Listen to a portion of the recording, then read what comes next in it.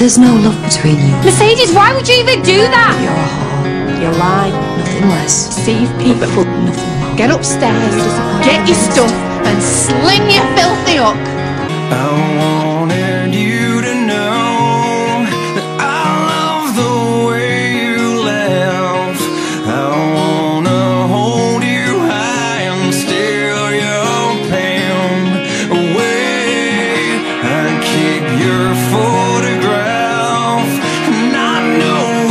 answer